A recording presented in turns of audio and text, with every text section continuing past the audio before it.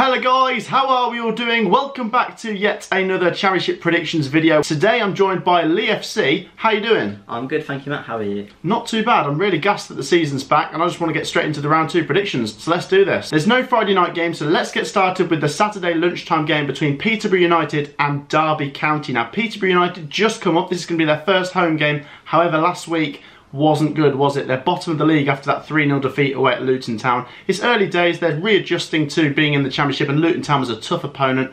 This week their opponents is Derby County who, you know what, last week it was a decent point. I know they were playing a, a COVID hit Huddersfield, but they've brought in a couple of players recently and Derby are trying to make themselves competitive for this season despite all the setbacks they've had this summer. I'm just going to back Peterborough though. I think being at home and being against Derby, they need to win this one, and I think they will. Peterborough 2-1. I was going to go Peterborough to be fair, um, but obviously thinking about their result um, last weekend, not uh, well, the weekend just gone, not the best. Um, obviously Derby getting a point, but obviously there are still big overlaying uh, problems at the club. Uh, so I think I'm going to go for a bit of a draw, a bit of a boring one actually. Uh, I'm going to go for 1-1. 1-1, a predictable draw down the middle. Next up then, we have Barnsley versus Coventry City, our team. Coventry obviously picking up that win on the opening weekend against Nottingham Forest. What a result that was. Barnsley's going to be a tough opponent, especially on the road. Barnsley obviously made the playoffs last uh, last season and they picked up a decent point against Cardiff last weekend. Mmm, this is tough. I'm going to try and be realistic, but optimistic. I'm going to say Coventry are just going to edge this. I think we're going to be riding a little bit of a high after that win, and I think I'm going to go for another 2-1 win for Coventry here. It's going to be hard, but I think we could do it. You know what? I completely concur. Um, obviously, last season I had um, a bit of a run with Coventry where I predicted they'd win every game, every time I came on the predictions. So, um, you know what? This season I'm going to do the opposite. Uh, I'm going to go Coventry to lose. Uh, so, first Coventry loss prediction on the channel from me. Uh, Coventry going to lose 2 0. You're not coming back on this channel after that. You're, you're banned from the channel. Uh, next up, we have Birmingham City versus Stoke City, a West Midlands derby, and both teams getting off to a decent start last week. Birmingham picking up a 1-0 win away at Sheffield United. What result that was, uh, grinding it out, a really hard-fought Lee Bowyer kind of win. And Stoke City winning a thriller against Reading. So this one is an opportunity for both teams to get to six points after two games, and... Mm, oh, it's hard. I'm just going to back the home team. I'm going to go Birmingham City 2, Stoke City 1. Yeah, I think I'm going to go back Birmingham, uh, being at home. Yeah, I think I'm going to go with them. Uh, yes, Stoke had a good result, but um, you know what, it's all different when you go uh, to St Andrews. And obviously Birmingham fans being back at St Andrews, being back in the stadium, I think that'll really play a part, and I think they're going to win this 2-0. 2 0. Next up, we go up to Bloomfield Road, Blackpool Football Club taking on Cardiff City, and both teams picking up a 1 1 draw in that opening weekend. Cardiff, obviously, against Barnsley, and Blackpool with a 93rd minute equaliser away at Bristol City. And ah, I think Cardiff will be the favourites, but you've got to take into account this is Blackpool returning to the Championship, their first home game. They're going to be riding a little bit of a high after scoring a last minute equaliser at Bristol City. And I think this is going to be a big occasion, and Blackpool are going to do it. I think Blackpool win this game 2 1.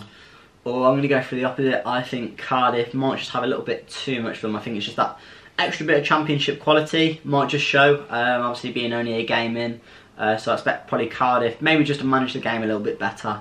Uh, if they manage to go and get an early goal, I think they managed to hold out the lead. Uh, even if later on in the game Blackpool started piling on the pressure. Uh, so I'm going to go Cardiff 1-0. Cardiff 1-0. Next up we go to Huddersfield. Huddersfield Town taking on Fulham Football Club. Huddersfield obviously picked up a draw against Derby. I think they would have been the favourites to win that game, but they were hit with loads of COVID. And Fulham obviously drew as well. They drew with Middlesbrough. Mm, you've got to lean towards Fulham, but I'm going to say Huddersfield throw a spanner in the works, and I'm going to go for another 1-1 draw for both of these teams. Uh, I think I'm going to go Fulham. Um, obviously, it wasn't in the script their draw against Middlesbrough uh, with the late goal, uh, late equaliser. But you know what? I think they've got the squad to do it potentially uh, this year to take them right back automatic uh, would, would, probably be my prediction as well for that. So yeah, I'm going to go Fulham and I'm going to go Fulham 3-1.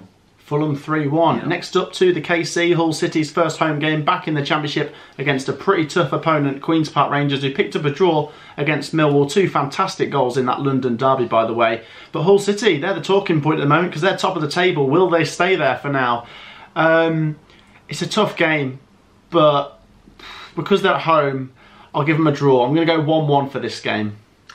Yeah, I think I'll, I'll back a one-one as well. To be honest, um, you know, both as I said, both teams, uh, just kind of like I don't know really after one game of the season. To be honest, um, yeah, one-one. Not much analysis from me there. Sorry. Next up, then we go to the Riverside Middlesbrough Football Club taking on Bristol City. Now, both teams once again picked up a draw last week. A lot of draws going on last week, and I'm just going to back Middlesbrough for this one. They're at home. Obviously, they'll, they'll be pretty pleased with the point they picked up at Fulham. Bristol City will be on a bit of a downer after dropping the points against Blackpool. I'm going to just back Middlesbrough to win this game 1-0. Uh, I'm going to go with Middlesbrough as well. Uh, obviously, getting a, a, late point away at Fulham. Uh, I think that'll really kind of, you know, spur them on in this next game, thinking they'll be able to get a result, and I think they will. Um, I think it'll be 2-1 to 1. Next up, we go down to London. Millwall Football Club take on Blackburn Rovers. Now, this could be an interesting matchup. I think both teams could uh, be pretty pleased with the results they picked up last week. Millwall picking up a draw at QPR. Um, I suppose they could have won that game, but still a decent point nonetheless. But Blackburn definitely happy with that opening win against Swansea City, and obviously they lost Adam Armstrong this week. That's a big departure. For 15 million, they need to try and spend that money wisely and invest it back into the club because an absence of Armstrong's goals this season could lead to them having a, a real stinker. But Tony Mowbray's teams always do get off to a good start to the season, so there is potential they could win this game, but oh, Millwall is such a tough opponent. Oh, God. I'm going to be a fence sitter and go for a 1 1 draw here. I'm going to be exactly the same, unfortunately. Maybe a little bit more of an entertaining game, uh, hopefully. Obviously, you mentioned Adam Armstrong leaving. Uh, that's really big, uh, a really big loss to them. So I think I'm going to go for score draw 2-2. 2-2. Next up we go to Nottingham Forest taking on AFC Bournemouth. Now Bournemouth were involved in that dramatic 2-2 draw on the opening night against West Bromwich Albion and Nottingham Forest we saw them at the Ricoh Arena losing late on against Coventry City and the favourites have got to be Bournemouth, but I'm actually going to back Forest here 1 0. I think Chris Hughton really needs to make up for the dropped points against Coventry City, and you can see that when they score first, they try and defend a 1 0 lead, and that's what they tried to do at Coventry, and obviously, to the frustration of the Forest fans, it didn't work. I'm going to go for them to score first and hang on to that lead, and they're going to beat Bournemouth 1 0. I think I'm going to potentially go with the opposite. I'm going to back Bournemouth. Um, obviously, you know they wouldn't uh, won't have wanted uh, that draw against West Brom, but overall, when it comes to the end of the season, that might not actually be a bad result against West Brom. But as you mentioned, you know Nottingham Forest, uh, I thought they looked very good at times. Uh, they made Coventry look very ordinary. Uh, you know, full of pace on the counter attack as well. But yeah, just for me, even though the Forest fans are back at back at the stadium, um, yeah, Bournemouth for me I'll go for a 2-1 win.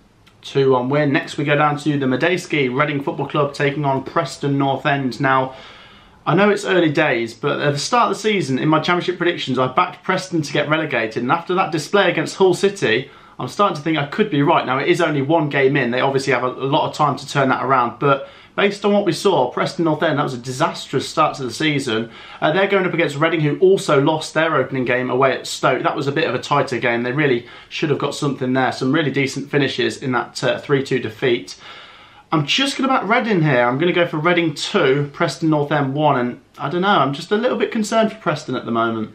So I, I think I'm going to back Reading as well um, after Preston's really poor result. But um, I don't know, some part of me still feels that Preston... Um, you know, they're a good solid side uh, at times, and I, I can't really, you know, see them maybe struggling too much. Uh, maybe you know it'll carry on for a little bit and then they'll get back to their normal ways. But um, yeah, Reading, Reading for me, I think, and I'll go for a 2 0 win to Reading. 2 0 win to Reading. Next up to the Hawthorns, West Bromwich Albion taking on Luton Town now. Coming down from the Premier League, West Bromwich Albion will obviously be one of the favourites to win this league and obviously be the favourites into most games they go into. But Luton Town is a classic Championship stubborn team which you would probably underestimate. And West Bromwich Albion fans might do that. They might underestimate the teams like Luton Town and I think Luton Town turned up here and gave them a really good game, especially after what we saw against Peterborough United. They absolutely, you know, murked them, didn't they? They beat them 3-0. This is going to be tough though for Luton Town. It's one of them where it's really tough for both teams. I'm going to go for another 2-2 draw for West Bromwich Albion. So it's West Bromwich Albion 2, Luton Town 2.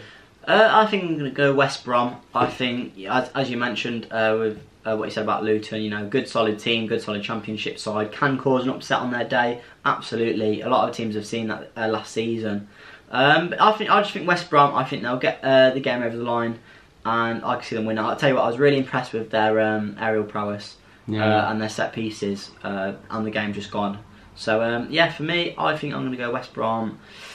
We'll make it interesting. Three two West Brom. 3-2 West Brom. Yeah, cracking game from both of us there at the Hawthorns. And the final game is at the Liberty. Swansea City taking on Sheffield United in a game which you'd expect two teams to really be up in that top six this season. But they both lost on the opening weekend and oh, this is really hard to predict. From what I saw from both teams, I think it was it's going to be a bit of a slow start, and they really need to bounce back. If they can get back to winning ways in the second week, then it's almost like they can forget that first week. But if they lose their second game after losing their first, then it's a disaster. And I don't want to sit on the fence. I don't want to go for a draw here. So I'm going to say Swansea City one, Sheffield United two. Yeah, I think Swansea's rotten start will continue. Yes, it's only one game, but um, yeah, I just think Sheffield United. Uh, you know, I've actually heard quite good things about Sheffield United, uh, even though they lost the game to Birmingham. Uh, I've still heard some quite good things. You know, some uh, you know good bits of play in the game. Uh, you know, dominating possession and whatnot. So um, yeah, I think I'm going to back Sheffield United, and I'm going to go for a one 0 win. 1 0 to Sheffield United. That wraps up the championship predictions for week two, guys. Let me know your predictions down in the comments. Make sure you've slapped a thumbs up on this one. Subscribe to the channel if you are new. We're so close to 5,000 subscribers now. Subscribe to Lee FC as well, guys, and we'll see you in the next video. Peace out.